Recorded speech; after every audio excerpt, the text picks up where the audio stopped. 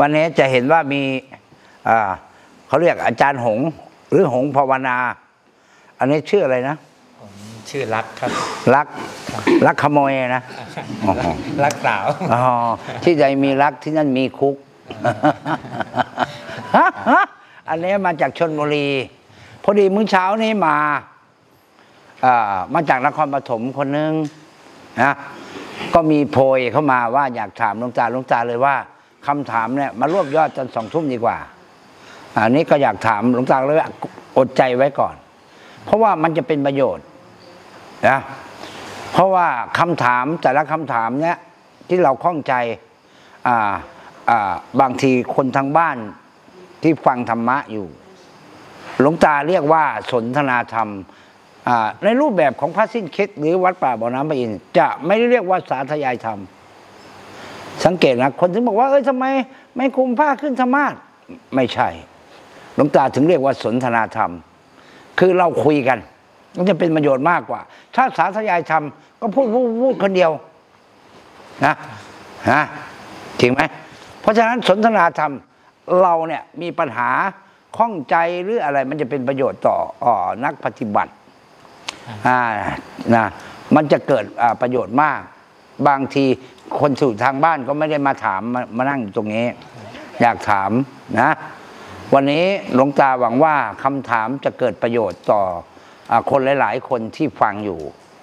นะดูพวกเราอยู่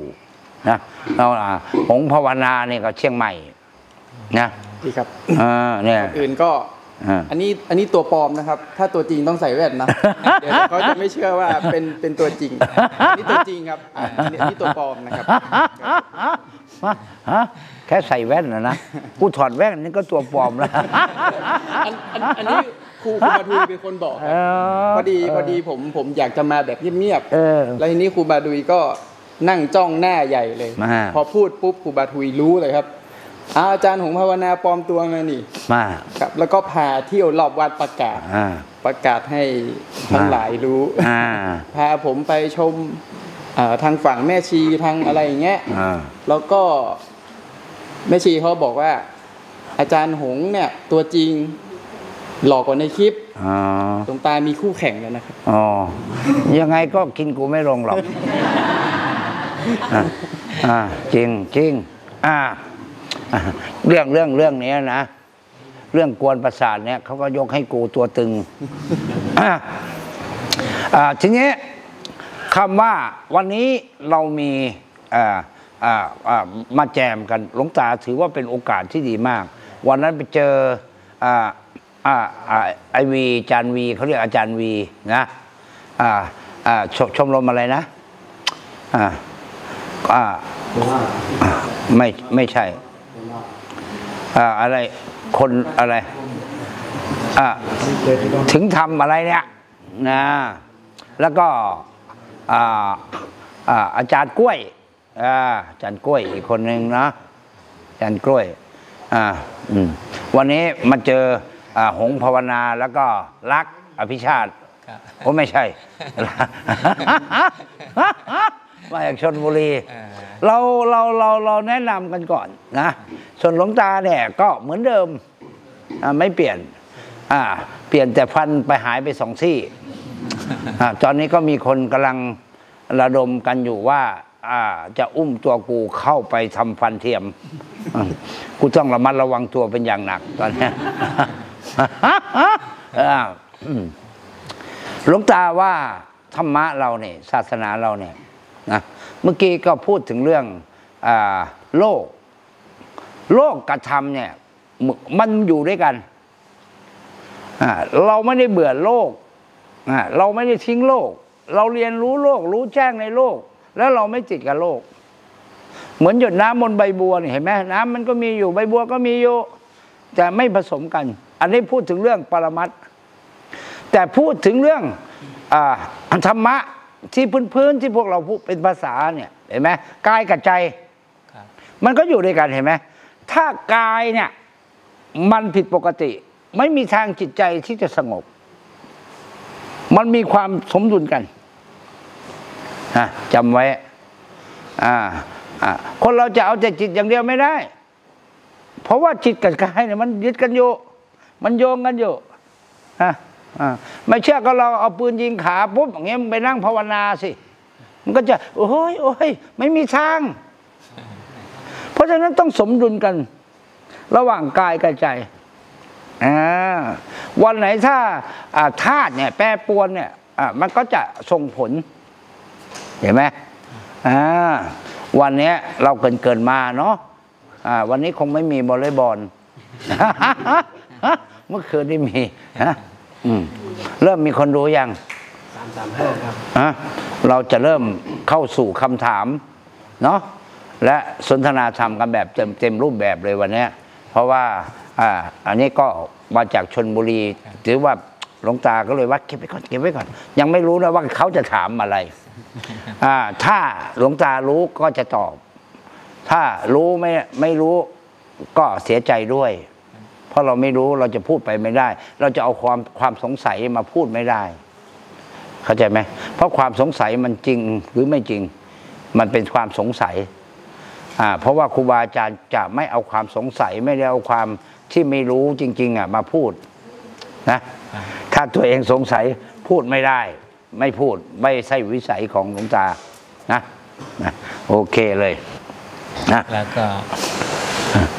ให้ให้ผู้อาวุโสให้ผู้เชี่ยวชาญไม่ไม่ได้เลยไม่ไม่ไม่ทุกคนอะเชี่ยวชาญหมดอะอ่าอ่าขอขอถามครับอ่าอ่าผมมาขอเป็นลูกศิษย์หลวงตานะมาฝึกอานาปนาสติ ก็วันนี้วันที่สี่นะครับอ่าก็ตั้งแต่เริ่มก้าวขึ้นรถออกจากเชียงใหม่ ผมดูลมมาตลอด จนมาเจอกับหลวงตา ก็ก็ดูลมก็เจอเจอลมอยู่อยู่เรื่อยๆนะครับไม่ไม่ค่อยหายเท่าไหร่พอมาเจอหลวงตาหลวงตายิงคำถามเลย บอกว่ามาจากเชียงใหม่หลวงตาถามว่า กะหรี่ที่เชียงใหม่มีที่ไหนบ้าง ลมหายครับ มันมันจะไปนึกชื่อครับซายูริเอยสันติธรรมเอยไม่ได้ชี้เป้านะครับเขาบอกหลวงตาทีเถอะมาไม่ต้องชี้เป้าหรอกไม่มาหมดแล้วล่ะแถวๆนั้นมากำแพงดินสันติธรรมกูไปมาหมดเชียงใหม่แลนด์คือหลวงตาเนี่ยกับหงเนี่ย เป็นคนเชียงใหม่อะห ลวงตาก่อนบวชเลยอยู่เชียงใหม่ ก่อนจะออกมาบวชนะก็เลยอ่ายิงไปอย่างนั้นแหละ บางทีเนี่ยถ้าไม่ทัน ถ้าไม่ทันก็จะไหลฮะเออฮะเออไหลไปเลยอย่างเงี้ยมาอะอะอ่าที่พูดให้ฟังเนี่ย บางทีคนไม่ทัน เหมือนครูบาอาจารย์เนี่ยเขาจะแทงเลย เฮ้ยนะอย่างเงี้ยนะ แต่ถ้ามีสติจะดึงกลับมาอ้าวอ้าวอ้าวอ้าวอ้าวนะนะกลับมาดูลมได้นะลมกลับมาตอนเดินลงกุฏิหลวงตาไปเลยอ่าอันนี้มีคำถามอะไรไหมถามถามหงภาวนาก็ได้นะ คือคำว่าฌานเนี่ยมันเป็นกุศโลบาย หรือว่ามันมีจริงอ่าฌานเนี่ยครับมันเป็นชื่อหนึ่งอ่าอ่า ที่เป็นธรรมชาติตัวหนึ่ง ถ้าจะพูดถึงเรื่องธรรมะ ถ้าไม่มีชื่อเรียกเราจะเป็นไปไม่ได้เลย เราจะสื่อสารทางภาษาไม่ได้เลยครับเราต้องเข้าใจเรื่องว่า แม้แต่เรื่องจิตอย่างเงี้ยแม้แต่เรื่องขันธ์ห้าแม้แต่เรื่องอะไรก็ตามที่เราพูดอยู่ทุกวันเนี้ยมันเป็นสมมุติขึ้นมาอ๋ออ่า มันเป็นสมมุติทางภาษา เพราะตัวเนื้อแท้และธรรมะเนี่ยมันไม่มีชื่อ มันเป็นสภาวะเป็นธรรมชาติอะ ที่มีอยู่จริงด้วยส่งผลด้วยอะเหมือนจิตอย่างเงี้ยเห็นไหมครับคนก็พูดว่าจิตอย่างนั้นอย่างนี้อะจิตสงบอย่างเงี้ยอะใครล่ะเป็นคนรู้ว่าความสงบครับเราเคยคิดบ้างไหมว่า เราบอกว่าจิตสงบ เรารู้ว่าจิตสงบ ใครล่ะเป็นคนรู้ว่าจิตสงบ แสดงว่ามันมีสองอยู่ ความสงบตัวหนึ่งผู้รู้ผู้หนึ่งครับ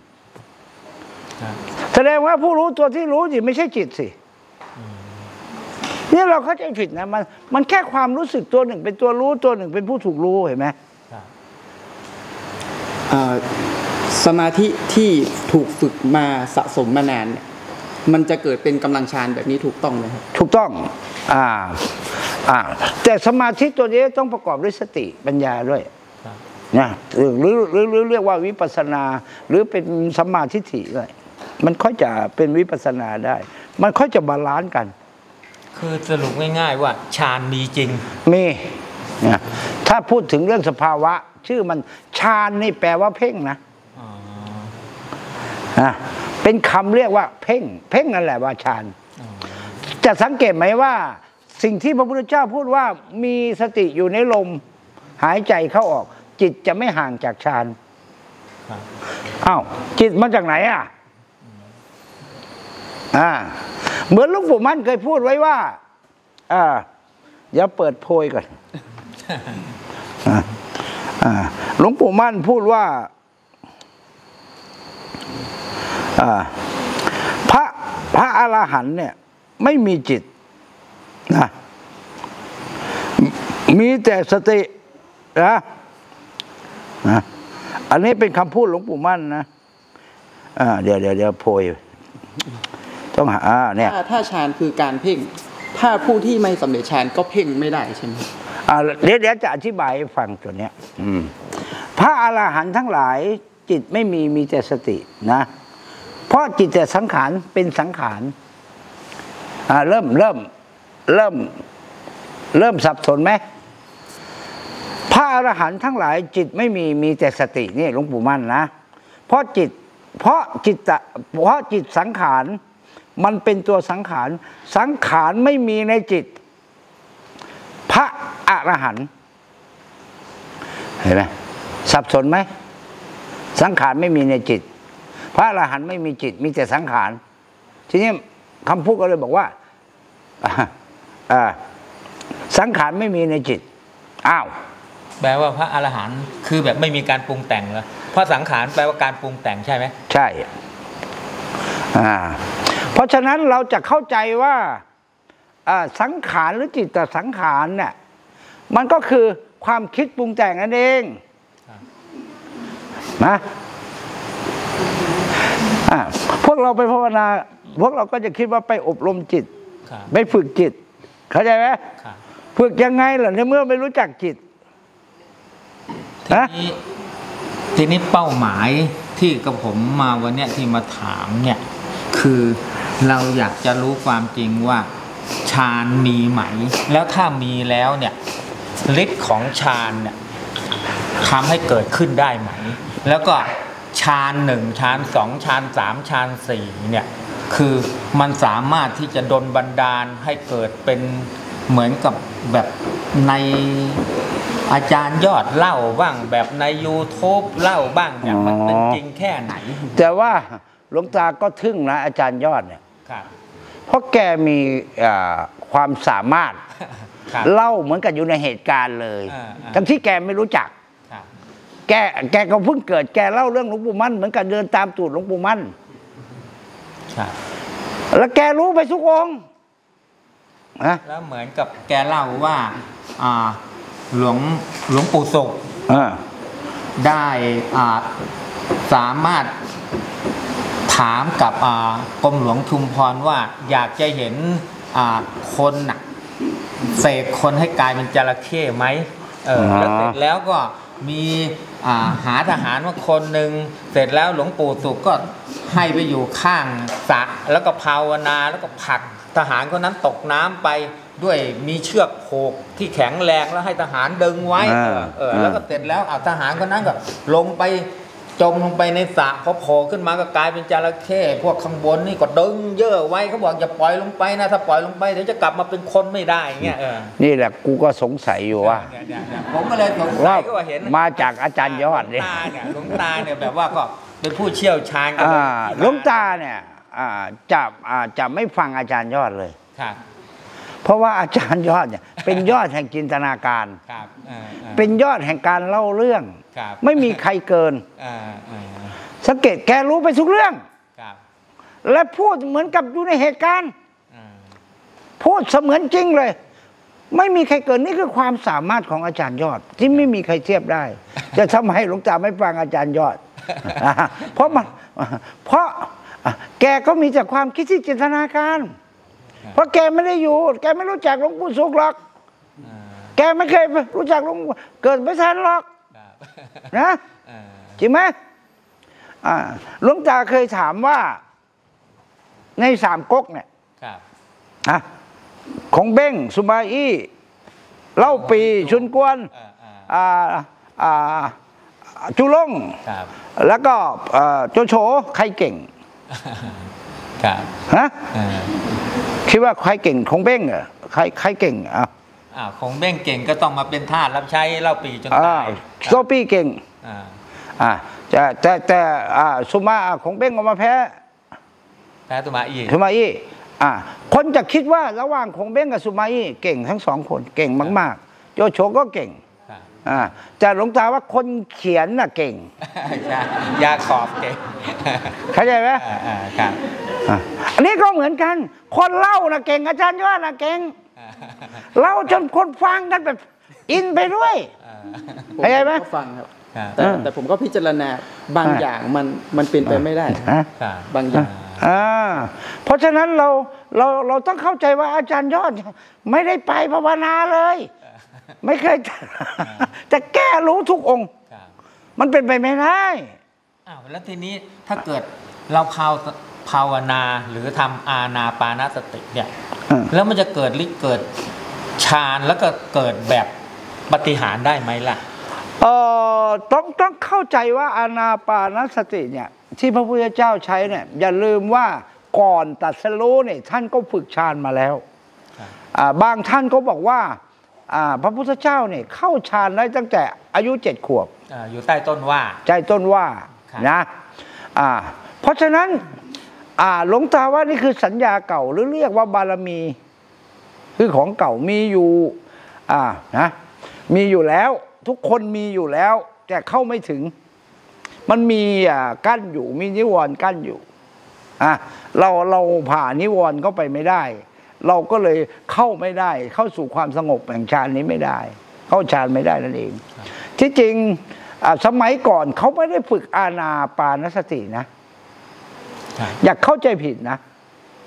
คือมีมาก่อนพระพุทธเจ้าที่ผมมีทราบมามาเขาเพ่งลมเมื่อก่อนเขาเรียกปานายามะอะหรือพระอ่าจนทางจีนเขาเรียกว่าฝึกลมปราณปรานะแปลว่าปราแปลว่าชีวิต คือลมปราณนั่นเองคือลมหายใจนี่แหละ จะฝึกกั้นลมดูลม เพ่งลมนะหรือสีบางต้นเนี่ยอ้าปากกินลมเห็นไหมแต่เขาทำจริงนะ จะบอกให้ บางทีเนี่ยเขายืนขาเดียวอยู่สิบสองปี เดี๋ยวนี้ก็ยังอยู่ เมืองเลยสีเกตสิบสองปีก็จะมาสู้กันทีหนึ่งจำไว้ และคนจะยืนอยู่ขาเดียวสิบสองปีเนี่ย มันเป็นไปไม่ได้ แต่เขาทำแบบว่าเขามีที่ที่ที่ไว้ขาอีกข้างหนึ่งเขาให้ยืนขาเดียวหรือสีบางตนนี่ยกแขนนี่จนแขนรีบ นี่คือความเพียรคือตบะอย่างยิ่งของเขาเข้าใจไหมแล้วเราทำไหมล่ะ แค่นั่งจะตายเลยสองชั่วโมงก็ไม่เอาแล้ว สมควรแก่เวลานอนฮะจริงไหมแล้วเราจะไปรู้ได้ยังไงล่ะ ผมฝึกอานามาสี่วันนะครับ ผมเดินขึ้นเดินลงปกติ ผมเป็นคนไม่แข็งแรง หายใจเข้าหายใจออก เดินได้ทั้งวันผมบอกเลยครับกำลังมาจากไหนไม่รู้ แรกแรกแรกแรกๆตอนตอนที่ฝึกเนี่ยเอ่อมันก็แบบมันก็ติดทางบ้านเนอะเราไม่ได้ค่อยได้ออกกำลังกายครับ แต่พอพอมาฝึกอานาจนจนมันรู้ว่ามันมีกำลังมากขึ้นนะครับ คือมันมันจะไม่สามารถนั่งได้ครับ มันมันไม่สามารถนั่งเฉยๆได้ คือแบบดูลมปุ๊บมันมันจะบังคับให้เราเดินอยู่ตลอด มันมันมันมันเป็นอย่างนั้นจริง ๆ ครับหลวงตาอธิบายนะครับอานาปาเนี่ยปราณเนี่ยนะ มีพลังงานเหมือนกับเราเอาออกซิเจนที่บริสุทธิ์เข้านะจำไว้ที่จริงลมเนี่ยมีกำลังมาก ลมหายใจเนี่ยเพียงแต่เราหายใจตอนนี้ยังไม่มีกำลัง เพราะเราไม่อยู่ในลม ลมนี่แหละคือสมถะคือฌานตัวหนึ่งเพราะลมมันเป็นธาตุรู้ที่เข้าออก ระหว่างธาตุทั้งสี่เนี่ย ดินน้ำไฟลมเนี่ยเห็นไหม ดินเนี่ยหมายถึงสิ่งที่เป็นวัตถุที่แข็งครับนี่เนี่ยนะเห็นไหมธาตุดินเนี่ย น้ำธาตุน้ำเนี่ยหมายถึงสิ่งที่หลอมรวมกัน ดูที่น้ำเนี่ย เวลาเทออกไปมันจะไหลรวมกันฮะส่วนธาตุไฟเนี่ยไม่ใช่ไฟลุกขึ้นนะแต่มีอุณหภูมิอยู่ความร้อนอยู่ในกาย สังเกตดูนะ มีอยู่ลมเนี่ยเป็นธาตุเดียวอะที่เป็นชีวิต เขาเรียกว่ากายกายหนึ่งทั้งออกทั้งข้างนอกข้างใน อยู่ตลอดเวลา ถ้าเข้าแล้วไม่ออกตายถ้าออกแล้วไม่เข้าก็ตายลมเนี่ย เพราะฉะนั้นลมนี่แหละคือ เรียกว่าปราณแปลว่าชีวิต และพระพุทธเจ้าลมนี่เรียกว่ากาย อีกกายหนึ่ง เรียกว่ากายในกาย เราจะเข้าใจผิดนะว่ากายเนี่ย คือร่างกายไม่ใช่ กายในความหมายกาคาสติเนี่ยกายสติเนี่ยอ่าหมายถึงเอาสติไว้ในกาย คือเอาไว้ในลมนะครับอ่าเพราะฉะนั้นเมื่อสติกับลมนี่เป็นอันเดียวกัน เราไม่ต้องดูหรอกมันผสมกันเป็นอันเดียว เมื่อไหร่สติอะสติหรือเนี่ยตัวจิตเนี่ยอยู่เนี่ยมันเหมือนกับเจริญฌานเข้าไปแล้ว เราจะเข้าใจผิดว่าฌานสี่นี่ต้องไปเข้านะ ไม่ใช่ ไม่มีทาง คือไม่ได้เข้าฌานนะอันนั้นมันเป็นนิยายแล้วเรื่องยังไงอาจจะอ่านไม่ใช่นิยายฌานนี่มันมีอยู่สิบหกเห็นไหมอาณาปานสติสิบหกนะแต่ถ้าบวกกับสติปัฏฐานสี่ก็สิบหกเหมือนกันสี่สี่สิบหกนะความละเอียดต่างกันอะหลวงตาก็อ่าอ่าไม่ได้เรียนตัวนี้มาก็เลยอธิบายไม่ได้แต่อย่าไปรู้ชื่อก็ได้ แต่สติปัฏฐานสี่ที่อยู่ในอานาปานสติเนี่ยไม่ต้องไปรู้จักเลยก็ได้นะพอเวทนาในเวทนาเนี่ย เราก็จะเห็นว่าเวทนาที่เกิดขึ้นอยู่ตลอดนะในร่างกายเราเนี่ยนะยิ่งดูลมจะเห็นเวทนา เห็นทั้งสามเวทนาเลยเห็นทั้งสุข เห็นทั้งทุกข์เห็นทั้งไม่สุขไม่ทุกข์นะนะสุขเวทนา ทุกขเวทนาและก็อทุกขมทุกขาเลือดนี่เรียกว่าเวทนาสามในภาษา เราไม่รู้อะไรก็ได้ เราดูตามดู เราเข้าใจบาลีแค่ไหน นี่มันเป็นเรื่องของภาษาอย่างนะอะอย่างอย่างจิตอย่างเงี้ย จิตใช่ไหมเราก็พยายามพูดถึงเรื่องจิตอยู่เรื่อย จิตอย่างนั้นจิตอย่างเงี้ยเอาเอาพระพุทธเจ้าพูดว่านี่คือ ขันธ์ห้าครับพระพุทธเจ้าย่อเหลือรูปกับนามอ่าสองอย่างรูปก็คือเนี่ย ธาตุสี่เนี่ยเนี่ยเห็นอยู่เนี่ยตั้งอยู่เนี่ยรูปเรียกว่าเป็นวัตถุธาตุแต่น้ำเนี่ยน้ำน้ำน้ำสี่น้ำนี่มีสี่ขันธ์สี่เนี่ยรวมกันเรียกว่าน้เออครับน้ำมีสี่ำอ่าเออทีนี้น้ำตัวเนี้ยอะแล้วจิตไปมาจากไหนล่ะ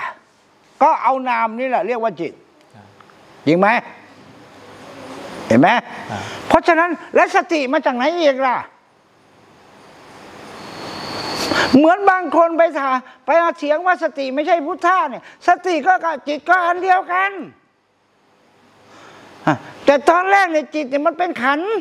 ทีนี้ทีนี้ถ้าขยับให้มันสั้นเข้ามา แล้วก็แบบให้มันสรุปเข้ามาเนี่ย คือมันไม่เกี่ยวกับเรื่องฤทธิ์เรื่องเดชใช่ไหมหลวงตาไม่เกี่ยวเลย ไม่เกี่ยวเลย ไม่เกี่ยวเลยแต่ฤทธิ์เดชไม่นะใช่ ไม่ใช่ว่าไออย่างเช่น แบบหลวงพ่อฤาษีลิงดำก็บอกว่า เออ แบบอ่าหลวงพ่อปานเนี่ยสามารถรู้ได้ว่า เออแบบเออไอเนี่ยกำลังคิดอะไรอยู่ หรือว่าอะไรต่างๆ นานาก็ไม่เกี่ยวใช่ไหมไม่เกี่ยวกับการตรัดสรู้เลยอ๋อฮะฌานสี่ที่ไม่ได้เข้าคือกำลังสมาธิที่มันมีสูงมาก จนสามารถรับรู้สิ่งภายนอกให้เข้ามาได้ถูกไหมได้ เพราะว่าเราทรงฌานอยู่เนี่ย เรารู้หูก็ได้ยินตาก็เห็นอยู่ นี่คือฌานสี่นะอยู่ในฌานนี่แหละเจริญฌานอันนี้ไม่ได้เรียกว่าเข้าฌานเรียกว่าทรงฌานนะการเข้าฌานเนี่ยมันละเอียดกว่านั้นทำไมเขาถึงเรียกฌานโลกีรู้ไหมเหมือนเราหลับนี่แหละ เราหายไปไหนล่ะตอนหลับ เอ๊แล้วหลวงตาแล้วทำไมหลวงพ่อวิริยังยังเล่าถึงว่าอ่าสาวกของพระพุทธเจ้าอะมีอยู่ครั้งหนึ่งที่สามารถเหาะแล้วก็คีบเอาหิน เหาะขึ้นไปเพื่อแสดงฤทธิ์ให้กับอ่าทางอะไรเศรษฐีอะไรดูนั่นน่ะ อาจจะอ่าอ่าอันนี้หลวงตาไม่รู้หลวงตาไม่เคยเห็นหลวงพ่อวิริยังห่อนะเห็นแต่ท่านนั่งเครื่องบินเออใช่ใช่เอออะไม่หลวงพ่อวิริยังเขาก็ไม่ได้บอกว่าเขาเหาะแต่เขาพูดถึงว่าสิ่งอ่าของอ่าอ่าสาวกของอ้าวหลวงพ่อพี่ยังเกิดมาไม่ถึงร้อยปีนะแล้วมันสองพันกว่าปีท่านรู้ได้ไงล่ะ จะไปเชื่อท่านได้ไงเอ่อครับฮะ จริงไหมมันมันมันก็เหมือนกับแบบเป็นเอ่อเป็นตำนานเล่าอีกแล้วก็นั่นแหละปลำปลา อย่าพึงเชื่อในอ่ากาการลาลามาสูตรจะไม่ใช่พระองค์ไหนพูดก็จะเชื่อไปหมด อันนั้นก็โง่แล้วฮะก็เลยต้องมาหาหลวงตาวันนี้ ใช่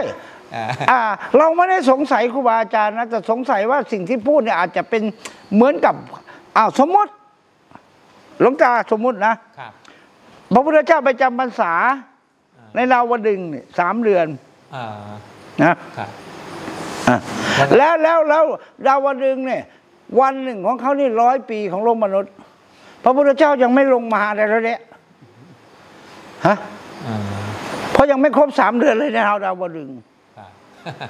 จริงไหมอันนี้สองพันกว่าปีเองอ่า ถ้าพูดถึงเรื่องดาวดึงส์นะถ้าคูณออกมานะอ่าถ้าคูณออกมาอ่าครับอ่าบางที่เนี่ยมันเป็นไปไม่ได้ จริงไหมแล้วพระองค์จะไปขี้ตรงไหนล่ะ จะไปกินข้าวที่ไหนล่ะ ก็ไม่ได้ทำนานะจริงไหมฮะบางเรื่องเนี่ย ที่เขียนขึ้นมาเนี่ยมันอาจจะมีนัยยะหลายๆอย่าง มันจำเป็นต้องเขียนเรื่องพวกนี้ขึ้นมาฮะอ่าบางทีเนี่ยศาสนาอื่นเขาวิเศษวิโส ฮะอ่าถ้าเป็นคนธรรมดาธรรมดาอย่างหลวงตาเนี่ยก็ไม่มีใครเชื่อหรอก ต้องทำให้วิเศษวิโสหน่อยอ่าเขาวิเศษวิโสได้เราก็ต้องวิเศษวิโสใช่มันจำเป็น เอออ่านะอ่าอ่าอ่าเหมือนคนพูดเรื่องวาจาสิทธิ์นี่แหละจริงไหมพูดอะไรเป็นอย่างนั้นลูกขี้เนี่ย เราบอกกล้าท้าเลยมึงมาพูดให้กูตายสิ ฮะครับมันเป็นไปไม่ได้งั้นมึงก็ไม่เชื่อเรื่องกรรมสิ ใครอย่าไปทำกะแก้กรรมใครได้เอาฮะมันลบล้างคำสอนพระพุทธเจ้านะวาจาสิทธิ์หมายถึงเป็นอธิสิทธิ์ที่จิตมันไม่โกหกนั่นแหละคือ พูดความจริงนั่นแหละคือศักดิ์สิทธิ์นั่นแหละคือวาจาสิทธิ์มันไม่โกหกไม่ใช่ไปพูดเปลี่ยนแปลง คนนี้ดีคนนี้รวยไม่มีทางฮะครับอะขอทานเยอะแยะมึงก็ไปพูดสิงั้นให้มันรวยดูสิครับฮะอย่าปัญญาอ่อนนะฮะฮะไม่มีทางหรอกมาใครมีฤทธิ์เนี่ย เพ่งมาหากูเนี่ย กูกลัวจะฤทธิ์สีดวงอะฮะ มันขี้ยากมหาลิกับกับหลวงตาจำไว้มาผิดที่ซะแล้วอ่าฮะมาผิดที่ซะแล้วถึงมาแล้วไม่มีฤทธิ์ที่เนี่ยเออมาแล้วไม่มีฤทธิ์เลยอะมีพงเทพมั้งมีฤทธิ์กูบาพงเทพ ต้องไปหาพงเทพแล้วนะเพราะฤทธิ์สีดวงฮะฮะฤทธิ์เนี่ยฤทธิ์ที่แปลว่าสำเร็จนะ เหมือนเขาเข้าใจคำว่าวสีอย่างเงี้ยวสีแปลว่ามีอำนาจ เราต้องเข้าใจเรื่องบาลีภาษาด้วยนะนะเหมือนวาจาสิทธิ์เนี่ยมันเป็นไปไม่ได้ เป็นสัจจะหมายถึงความจริง พระพุทธเจ้าเนี่ย ภาษาของพระพุทธเจ้าเนี่ยเป็นเออคตาหมายถึงเป็นหนึ่งอะเป็นอันเดียว คือเป็นพูดความจริง ความจริงที่ไม่เกิดประโยชน์ท่านก็ไม่พูด ถึงจะเป็นความจริงก็ตาม พระเขาทุกวันเนี้มันพูดอะไรล่ะฮะพูดเพื่ออะไรล่ะ เพื่อหลอกล่อโยมเพื่อจะได้พระป่ากระถินเยอะๆนะบางทีนะนะมันปรารถนาอย่างอื่นเงินมาจากไหนล่ะหลวนะงตาใครอะมันก็ต้องพูดอย่างนั้นอย่างนั้นจะเอาเงินเอ้ามาจากไหนอะถ้ามึงเชื่อบุญวาสนา มึงไม่เคยทำไว้มึงยังไงมึงก็ไม่ได้หรอกครับจริงไหมล่ะ อย่างหลวงตาเนี่ยกูเชื่ออะไม่มีกินก็ช่างหัวมัน ถ้ากูไม่ได้เคยทำไว้เนี่ยครับอะจริงไหมเหมือนคนชอบไปปั้นพระศรีวลีว่าปั้นพระศรีวลีมีโชคลาภ นี่กูเห็นเนี่ยลูกศิษย์กูคนหนึ่งไปปั้นสององค์เนี่ยเป็นหนี้สองหมื่นกว่า ต้องมาให้กูไปใช้หนี้ให้ เพราะปั้นพระศรีวลีเนี่ยพระศรีวลีเป็นสัญลักษณ์ของการกระทำทาน ถ้ามึงไม่เคยสร้างบุญบารมีไว้คือไม่สร้างทานไว้ พระพุทธเจ้าว่ามันบำเพ็ญมา มันมีแต่ของเก่าเหมือนหลวงตาเนี่ยอมานั่งอยู่ตรงเนี้ยยังเหมือนพวกเรานั่งอยู่เนี่ยมึงคิดว่าบังเอิญเหรอ ลวงตาเขาเกิดอยู่ที่กาลสินนะบ้านจุมช้างโน่นนะ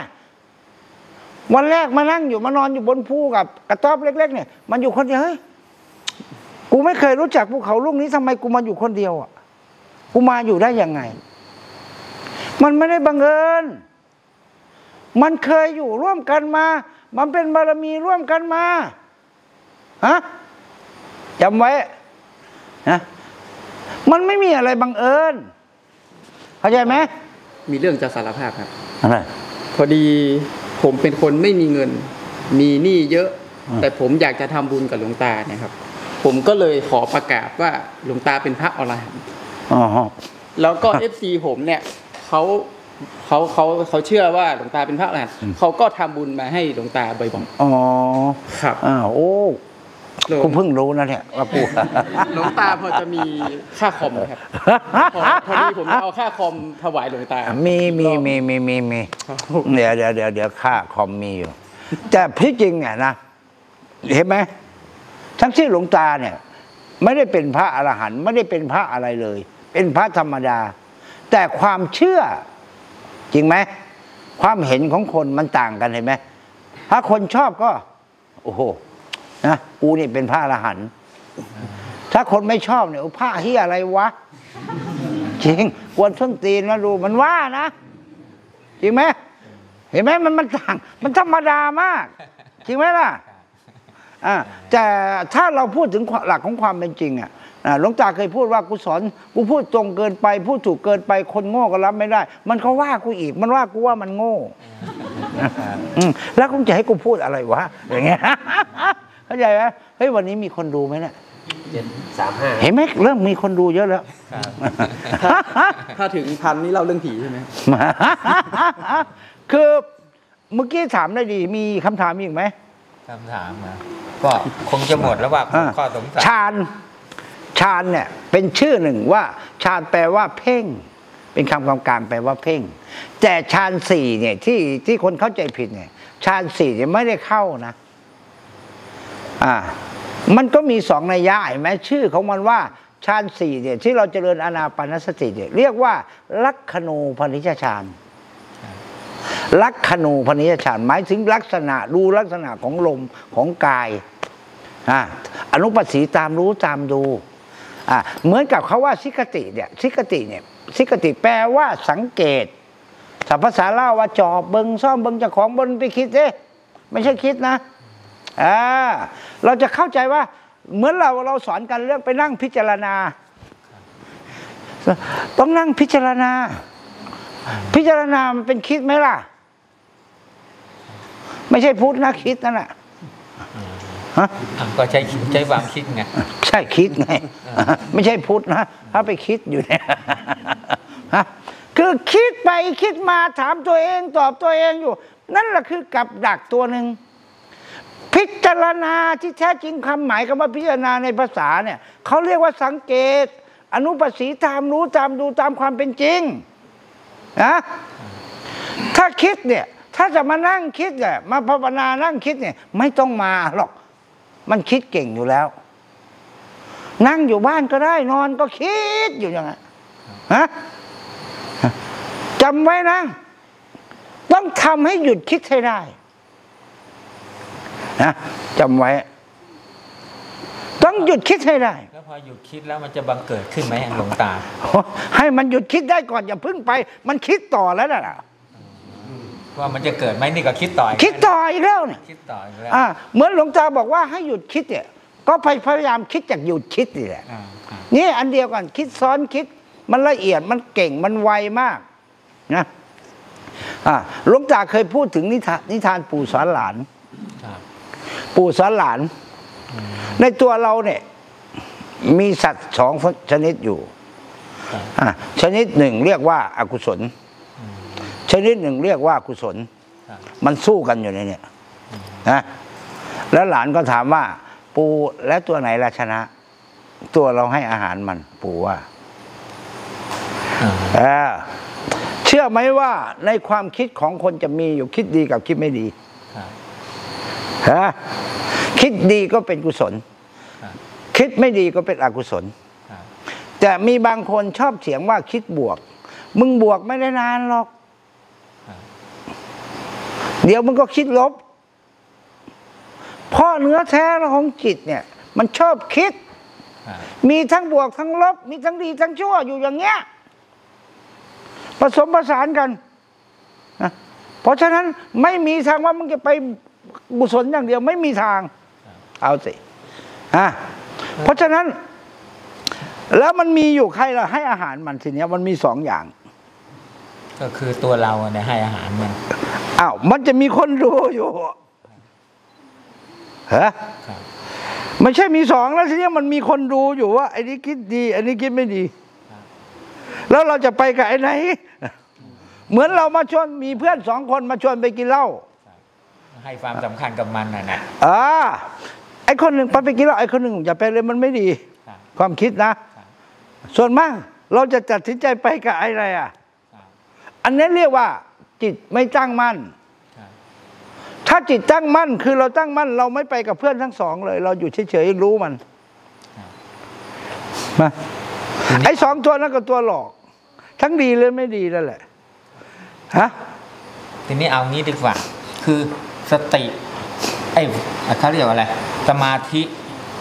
วิปัสสนากรรมฐาน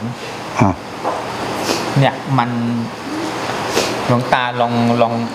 อธิบายเนาะอธิบายดูที่ว่ามันเหมือนกันไหมอะเดี๋ยวกันอ่าสมาธิ แล้วก็วิปัสสนากรรมฐานมันมันมันปนกันยังไงมันมันมันแยกกันยังไงครับอ่าที่จริงเนี่ยหลวงตาพยายามพูดถึงเรื่องมรรคครับ มรรคคือตัวเดียวคือศีลสมาธิปัญญาครับอะอันนี้อันนี้เรียกว่ารวมแล้วเป็นมรรคเดียวคือมรรคจิตหรือหรือเรียกว่าอธิศีลที่จิตที่ปัญญาอธิปัญญา คือเป็นอันหนึ่งแล้วรวมกันแล้วระหว่างศีลสมาธิปัญญา หรือสติหรือจิตเป็นอันเดียวกันนั่นแหละเรียกว่าเป็นหนึ่งอ่าอ่าแล้วจะอธิบายเรื่องอะไรนะเมื่อกี้อ่าคือสมาธิสมาธิเออสมาธิอ่าสมาธิเห็นไหมอ่า แล้วก็วิปัสสนา วิปัสสนา แล้วก็กรรมฐานกรรมฐานอ่าครับ กรรมฐานฐานแปลว่าที่ตั้งกรรมหมายถึงการกระทำครับเรียกว่ากรรมฐานอ่าจริงไหมแล้วถ้าเป็นอักษร ถ้าตรงตัวอักษร เรียกว่าที่ตั้งของการกระทครับำอ่าฐานแปลว่าที่ตั้งกรรมะกรรมะนี่แปลว่าการกระทำกรรมคือการกระทำเพราะฉะนั้นทีเนี้ย อาณาปานสติกรรมฐานเนี่ยทำไมถึงเรียกว่ามันมีสมาธิและวิปัสสนาในตัวเดียวกัน คือเมื่อเรามีสติอยู่ในลมใช่ไหมครับเราก็จะเห็นความคิดผุดขึ้นจริงไหมครับอ่าเมื่อไหร่เราออกจากลมเราก็ไปอยู่กับความคิดหรืออยู่กับสังขารเรียกว่าจิตตสังขารครับถ้าเราเอาสติมาอยู่กับลม เราก็จะเป็นสติที่เป็นผู้รู้ครับเห็นไหม คืออยู่ในฐานของลมครับอ่าอ่าแล้วเราก็จะเห็นว่าความคิดมันก็ผุดขึ้นอยู่ นั่นแหละเรียกว่าวิปัสสนาอ่านะการเห็นนั่นแหละคือวิปัสสนา การรู้ความเป็นจริงครับไม่ใช่ไปคิดอ่าทีนี้มาพูดถึงเรื่องศีลสมาธิปัญญาศีลก็มีศีลที่แท้จริงเนี่ยนะไม่ใช่ศีลที่ทั่วไป ที่คนเราศีลตัวนี้ศีลสมาธิปัญญาศีลตัวนี้ต้องมีสมาธิมันถึงจะบวกเอาศีลไปด้วย ถ้าไม่มีสมาธิศีลอธิศีลจะไม่เกิดอ่าอธิบายให้ฟังง่าย ๆ คือสมมุติว่าเรานั่งหลับตาอยู่เนี่ยเราไม่ได้ทำกายไม่ได้เป็นกายกรรมเราไม่ได้ทำชั่วใช่ไหมอ่า ปากเราก็ไม่ได้พูดใช่ไหมก็ไม่ได้มีวจีกรรมครับแต่ใจเราล่ะมโนกรรมล่ะ คิดไปเกียดคนนั้นชังคนนี้เมียคนนั้นอยากได้เงินคนเนี้ยถือว่ามันมันมีศีลไหมล่ะฮะอ่าเนี่ยนั่งเป็นพระอยู่เนี่ย ใส่ชุดกาสาวพัดอยู่เนี่ย คิดอยากได้เงินเขาอยากพยาบาทเขาอยากฆ่าเขาอยากทำลายเขาพยาบาทอาฆาตอยู่เนี่ย มันมีศีลไหมล่ะ เรียกว่าศีลตัวนี้มันไม่เข้าถึงจิตมันเพราะฉะนั้นมันไม่เป็นสมาธิไม่มีทางที่จะมีอธิศีลเกิด จะไม่เห็นศีลโดยเด็ดขาดจำไว้จะไม่เห็นของจริงโดยเด็ดขาด ถ้าไม่มีสมาธิจะเป็นวิปัสสนาเกิดขึ้นไม่ได้ เพราะฉะนั้นต้องอาศัยสมาธิ พอมีสมาธิจิตสงบลงมันไม่คิด พอมันไม่คิด เป็นอธิศีลทันทีเลย บวกเอาศีลเข้าไปเลย เป็นอธิศีลทันทีเลย ถ้าหยุดคิดนะะทีเนี้ยเห็นไหมเพราะว่าเป็นสมาธิ สมาธิมันก็รวมเอาศีลนั่นเองศีลอันบริสุทธิ์คือไม่มโนกรรมไม่สร้าง มันสงบอ่าสงบตัวนี้คือสงบด้วยกับโดยโดยก็ไม่คิด เมื่อมันไม่คิดมันก็สงบ เราก็จะเห็นอยู่ รู้อยู่ หูก็ได้ยินอยู่ตาก็เห็นอยู่ มันก็วางอุเบกขาอยู่ เมื่อเราทรงไปเรื่อยๆเรื่อยๆถึงจะเป็นชั่วคราวก็ถือว่ามันเข้าสู่สมาธิชั่วคราว เป็นอธิศีลชั่วคราว ถ้าเป็นอยู่เรื่อยๆเรื่อยๆเรื่อยๆเรื่อยๆมันไม่ปรุง ระบบปฏิจจสมุปบาทก็ไม่มีเกิดอุปาทานก็ไม่เกิดคือไม่ปรุงนั่นเองนะครับเออหลวงตาแล้วอย่างเช่นแบบว่าเราทำสมาธิโดยการนั่งเนี่ยแล้วเราจะต้องทำเดินจงกรมด้วยไหมเออเดินก็ได้ ไม่เดินก็ได้ แล้วการเดินการเดินจงกรมเนี่ยก็ถือว่าเป็นการทำสมาธิด้วยไหมเออก็ได้มันออกกำลังกายด้วยฝึกสติไปด้วย แต่จะเข้าฌานจะเป็นเข้าสมาธิจะเข้าอุเบกขาทำยากฮะคือคือการการเดินจงกรมนี่ยากกว่าการการนั่งทำใช่สมาธิใช่ไหมใช่ เพราะการการการเข้าอุเบกขาทำจริงๆการทรงเข้าไปลึกๆ เนี่ย มันก็ต้องขยับมันขยับไม่ได้นะจะขยับไม่ได้เลย คือคือมันต้องนิ่งๆนะ มันนิ่งเองของมันมันขยับไม่ได้นะนะครับตัวนี่ตึงเป๊ะเหมือนสตาร์ทไว้แล้วมันจะไปเดินได้ยังไงเนี่ยเนี่ยคนไม่เคยอย่างนั้นอย่างนั้นก็แปลว่าการเดินจงกรมนี่เป็นการบริหารร่างกายเฉยๆจังกะมะ แปลว่ากลับไปกลับมาต้องฟังชื่อแล้วบาลีเรียกว่าจังกะมะ เพราะว่าพระเนี่ยมันนั่งมันต้องมีประกอบไม่เดินได้ยังไง เดี๋ยวก็เป็นง่อยเดี๋ยวเดี๋ยวไปกินอีกอ๋อ เข้าคือใจการไหมเดินจงกรมนี่คือต้องการให้เลือดลมจังกะมะ แปลว่าเดินกลับไปกลับมาเราเรียกรวมกันว่าจงกรมนั่นเองเข้าใจไหมแต่แต่แต่ถ้าหัวใจหลักจริง ๆ คือจะต้องสติอ๋อสติก็คือการทำอานาปานสติอานาปานสติ อย่าลืมว่าพระพุทธเจ้าตรัสรู้ด้วยแล้วทีนี้วิธีทำอานาปานสติในการเริ่มต้นและทำให้ถูกต้องและทำให้ได้ผลเนี่ยเราจะเริ่มแบบไหนทำยังไงเอ่อหลวงตาแนะนำอ่า แล้วแต่จริตนะสำหรับหลวงตาแนะนำก่อนอ่าคือใช้ลมยาวก่อน เข้ายาว ออกยาว เข้ายาวออกยาวนะครับอ่าเพราะใช้ลมยาวเนี่ยอะมันจะเกิดสติรวมได้ง่าย รวมกับลมได้ง่ายครับนะอ่าทำไปสักสิบนาทีแล้วก็ใช้ลมสั้นซะเอ่อเข้าสั้นออกสั้นเหมือน เหมือนเหมือนเหมือนเหมือนเราเนี้ยก่อนนะนะเพราะว่าเราจะให้สตินี้อยู่กับลมเริ่มลมถ้าสติรวมกับลมเนี่ยเริ่มมีกำลัง มันจะมีกำลังแค่หายใจเข้านี่มีจะมีปฏิกิริยาต่อร่างกายเลย มันมันจะเป็นเองครับ มันจะเป็นเองมันทีจะเนี้ยเป็นเองครับอ่ามันจะเป็นเองนะอ่าแต่เรื่องฤทธิ์เรื่องเดชไม่ต้องพูดถึง ไม่ต้องพูดถึงครับอืมอ่าครับอ่าแต่อยากได้ฤทธิ์ที่เขาพึ่งเอาอยู่ในลมนี่แหละเยอะแยะอะแต่เดี๋ยวมาตอนนี้ผมติดอยู่อ่าผมเห็นความคิดเกิดขึ้น ความคิดไหลไป อารมณ์ไม่เกิดไม่มีอารมณ์ไปกระทบไม่รู้สึกทุกข์รู้สึกสุขกับภาพความคิดนั้นอืมผมฝึกอ่าหลวงตาบอกว่าให้สิ้นคิดแต่เราเห็นมันไหล มันหยุดได้เป็นระยะอ่าได้ได้ได้ได้แบบนั้นก็ได้อยู่มีสูตรให้มันหยุดถาวรไหมครับมีมีก็ดูลมไปเรื่อยๆล้านล้านเปอร์เซ็นต์นะอย่าลืมนะ เราจะสังเกตยกยกอุอุอุปมาหลวงเอ่อพระอานนท์ครับพระอานนท์เดินทำความเพียรตลอด เพื่ออยากบรรลุธรรมเป็นพระอรหันต์จริงไหมแต่อ่าพระอานนท์บอกว่าทำยังไงก็ไม่บรรลุถึงอรหัตผล เห็นไหมท่านเป็นโสดาบันแล้วนะครับจากทีนี้ท่านก็เลยว่า โอ้ พระองค์จนตำหนิพระพุทธเจ้าเลยนะอ่า พระพุทธเจ้าก็ว่าพระองค์คงพยากรณ์อานนท์ผิดไปอานนท์วัสนาน้อยว่างั้นอานนท์จะนอนแล้วครับฮะทำไมแค่นอนเสี้ยววินาทีทำไมเป็นพระอรหันต์เกิดขึ้นได้ ไม่เห็นทำความเพียรเลยก็เนี่ยแบบเนี้ยผมก็เลยสับสนยังไงบางทีมันไม่สับสนการทำความเพียรเนี่ย มันรอเวลาที่ balance กัน เพราะว่าการอยากจะเป็นพระอรหันต์นี่แหละกั้นไว้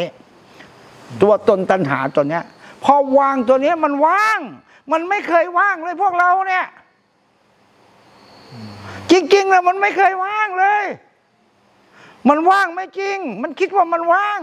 มันไม่ว่างจากความคิดเลย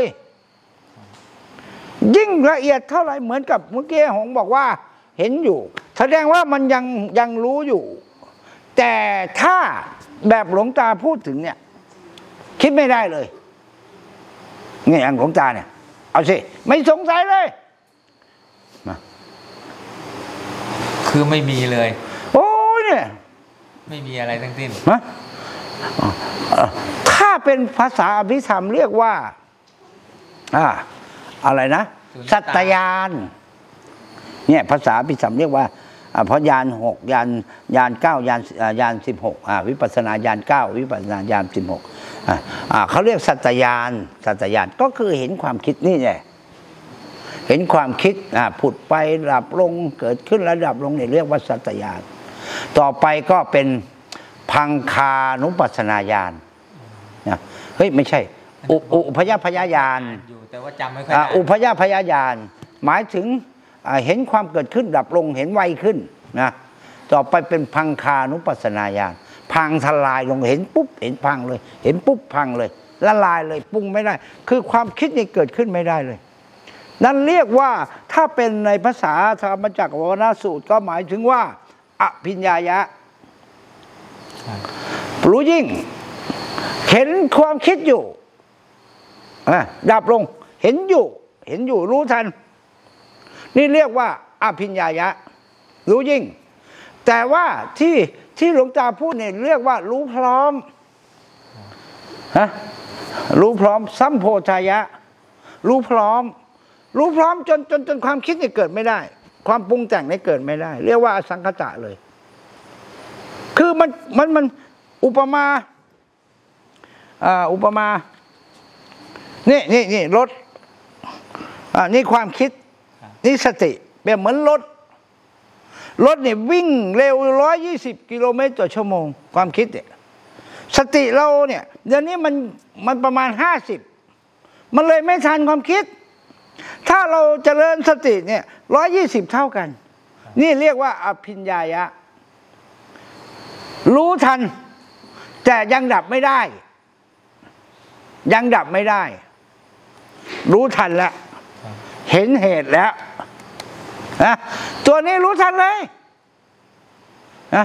แต่ถ้ารู้พร้อมเนี่ย สติเลยเลยความคิดแล้วความคิดเกิดไม่ได้แล้วคุมไม่หมดแล้ว เรียกว่ารู้สึกตัวทั่วพร้อมแล้วสัมโพธายะ โพธิญาณเกิด รู้พร้อม เกิดไม่ได้เพราะมันแซงแล้ว สตินี่เป็นมหาสติ เกิดขึ้นไม่ได้ ท่านถึงเห็นการไม่เกิด เมื่อไม่เกิดมันก็ไม่ดับ มันก็ไม่มีภพมีชาติ ท่านถึงประกาศตัวว่า เราไม่เกิดอีกแล้วทั้งที่ยังไม่ตาย เพราะเห็นอย่างนี้ครับนะไม่ได้เห็นอย่างอื่นฮะเห็นจิตนี่เห็นความคิดนี่ไงเห็นสังขารนี่หยุดหมด อุปาทานดับลงมันเกิดไม่ได้มันดับหมด เมื่อมันดับลงหมดแล้วมันไม่เกิดขึ้นอีก นั่นแหละ เรียกว่าไม่เกิดฮะตอนที่มันยังเกิดอยู่ มันรู้อยู่นะก็ใกล้เคียงกับท่าน ใกล้แล้วแวบๆไปนะ มันรอเวลานั่นแหละ แป๊บเดียวแค่นั้นเหมือนสายฟ้าแลบเนี่ยไปเลย เราทำความเพียรอยู่รอเวลามัน balance พอดีกัน นะ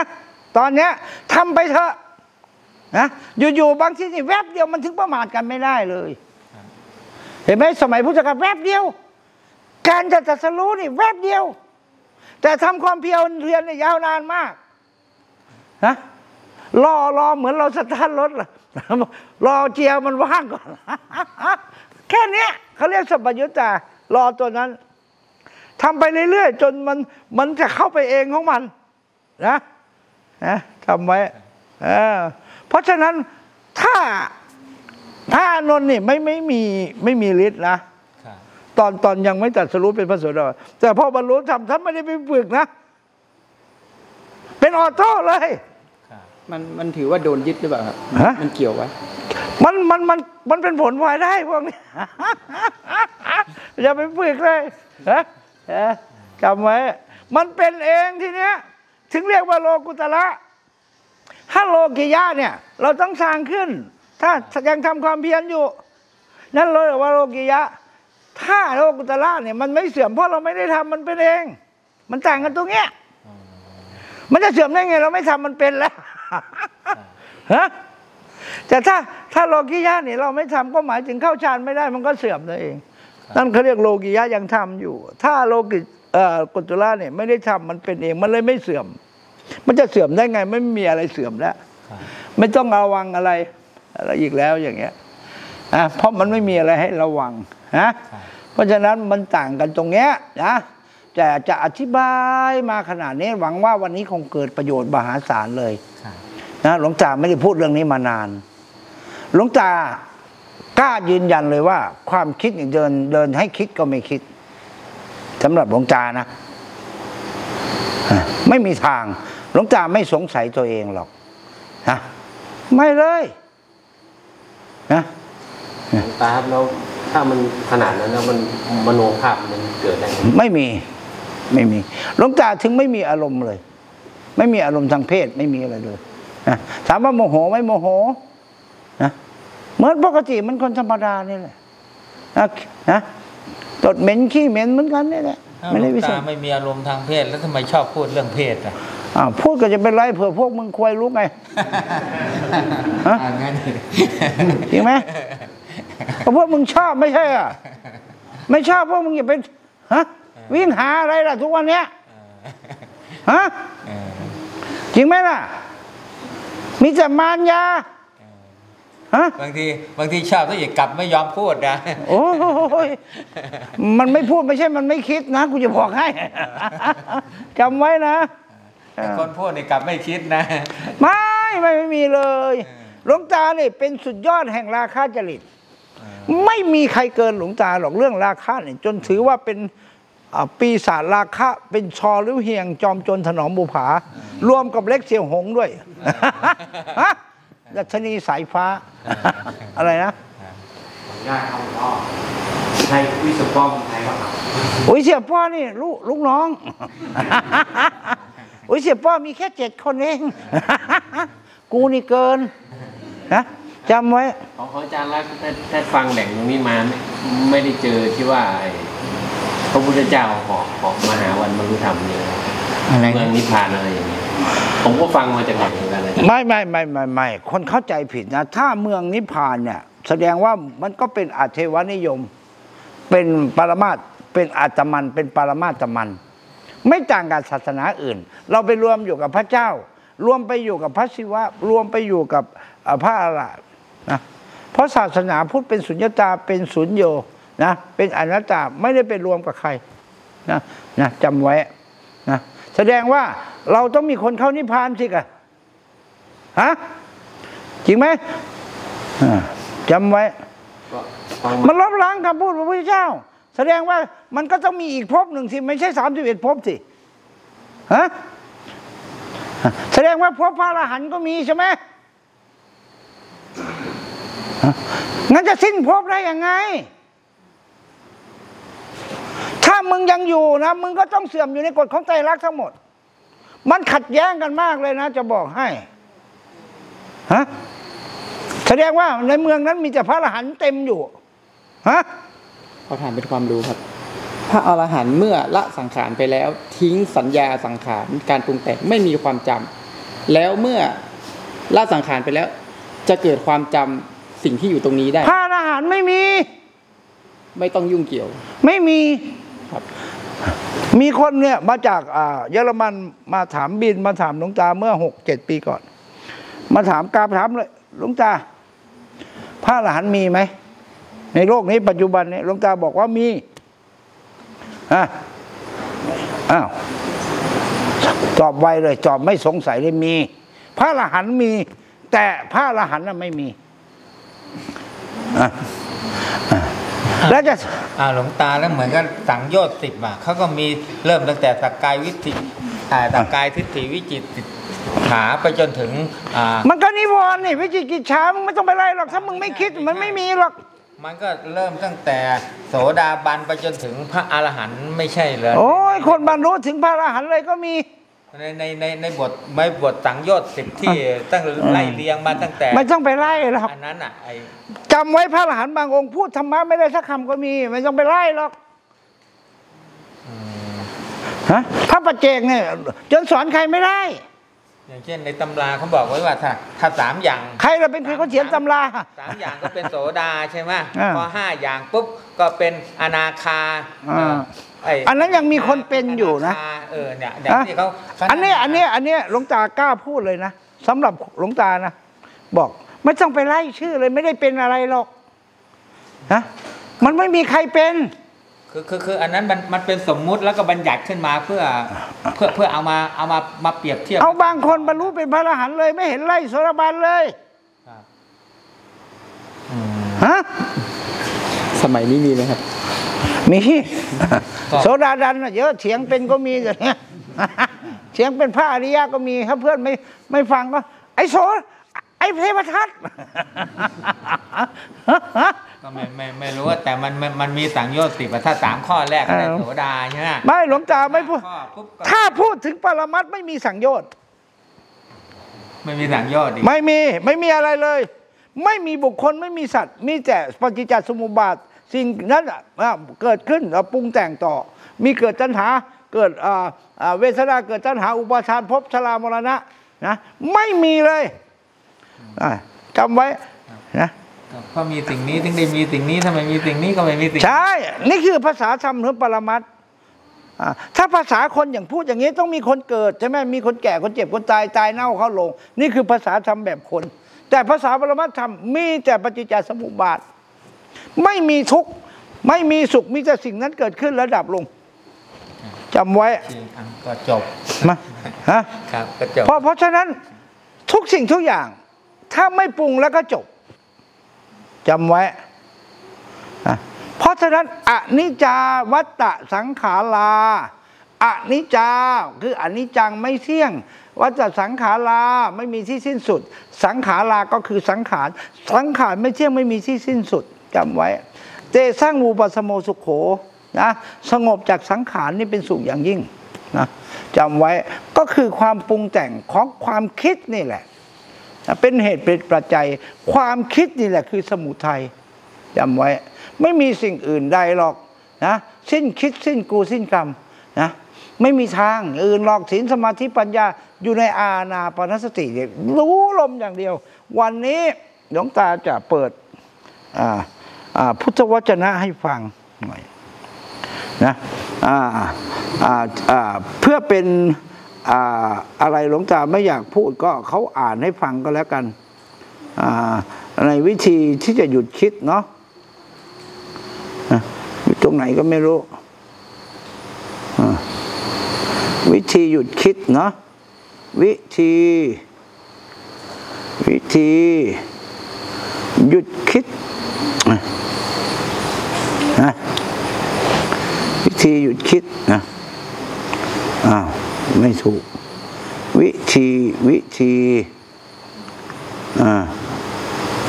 วิธีหยุดคิด หยุดคิดฮะอ่าเทคนิคของวิธีหยุดคิดนะ เดี๋ยวจะเปิดให้ฟัง เมื่อกี้พูดถึงเรื่องพุทธวจนะเนาะ คิด อ่าอย่าคิด อ่า ใช่ อะ ไม่ให้ความคิดเกิด วิธีไม่ให้ความคิดเกิดคือ เกาะลมเขาไว้ เกาะลมเขาไว้คือเกาะกาย อ๋อนี่ก็จัตตโสวิญญาณทิฏฐิโยที่ตั้งวิญญาณสี่ฮะแนบมันไหมครับบนไปตั้งในสี่ที่พระเจ้าให้ตั้งยึดไว้ ยึดไว้หนึ่งที่ ยึดให้แน่นเลย กายคตาสิทธิ์ยึดให้แน่นปุ๊บอย่าให้ไปสร้างการเกิดอีกสามที่ เมื่อไม่สร้างการเกิดสามที่ พอกายพังปั๊บเนี่ย วิญญาณจะไม่มีที่ตั้ง เมื่อวิญญาณไม่มีที่ตั้งกายพัง วิญญาณไม่ปรากฏ ที่ใดไม่มีนามรูปที่ใดไม่มีวิญญาณ เอเสวันโตทุกขสัตนั่นแหละคือที่สุดของทุกโยมจะได้สภาวะของอสังกตาธาตุคือนิพพานเนี่ยในทันทีเลยพระเจ้าจึงบอกถ้าใครไม่ลืมเอาจิตอยู่กับกายคนนั้นต้องได้นิพพาน ได้อมตะ เนี่ยตรัสยันแค่เนี้ยบรรทัดเดียวแค่นั้นนะ กายคตาสติ อัญชนเหล่าใดไม่หลงลืม อมตะ ชื่อว่าอัญชนเหล่านั้นไม่หลงลืม นึกถึงลมให้ได้อยู่กับลมแนบกับลมให้ติด ตายคาลมไปเลย นี่ก็คือบทสรุปเมื่อก่อนก็หลวงตาไม่ค่อยได้ไปฟังนะพุทธวจนะเลยหลวงตาไม่เคยฟังเทศของใครเลย นะแม้แต่หลวงตาอยู่กับหลวงปู่ศรีสิบแปดปีหลวงตาไม่เคยไปนั่งฟังเทศหลวงปู่ศรีเลยหลวงตาไม่ชอบฟังเทศใครนะหลวงตาชอบปฏิบัติมากกว่า เพราะเรารู้อยู่แล้วว่าจะทำยังไงนะหลวงตาไม่ไม่เสียเวลามานั่งจริงๆหลวงตาเป็นพระที่มีนิสัยแปลกบ้าง เป็นนักปฏิบัติที่ไม่ฟังเทศของใครเลยจำไว้ แปลกมากอ่าหลวงตาคิดว่า เราฟังมามากแล้วล่ะ เราได้ยินได้ฟังมามากแล้วล่ะนะเรารู้อยู่แล้วล่ะว่าจะทำยังไงอ่าเพราะว่าถ้าทำผิดเนี่ยทุกมันก็จะอยู่ ถ้าทำถูกทุกมันต้องน้อยลง นั่นแหละคือวิธีที่หลวงตาหาเทคหาเทคนิคหาวิธีที่จะอ่าทำให้ตัวเองอ่านั่นเปลี่ยนใหม่อยู่เรื่อยๆ ฝึกมาสองสามปีมันไม่ได้ผล เราก็ฝึกใหม่ หาวิธีใหม่อ่าจนวันหนึ่งเมื่อปีห้าห้าเจ็ดเนี่ยหลวงตามาอ่า เอาพุทโธมาเกือบ 20 ปี 30 ปี เกือบ 30 ปี หลวงตาเลยมาเปลี่ยนแม้แต่สัมปญญะปัปพระเนี่ยหลวงตาก็ทำมาอยู่สามปีกว่านะไปอยู่คนเดียวเลยในถ้ำด้วย ฝึกมาทุกอย่างอดข้าวเนี่ย จนต้องหามลงจากเขานะอดหลับอดนอนเนี่ยเป็นเดือนๆทำมาแล้วนะแต่ไม่เคยฆ่ากามราคาได้เลย จนวันหนึ่งมันทุกข์หนัก หลวงตาก็เลยทุกข์เรื่องกามนะหลวงตาก็เลย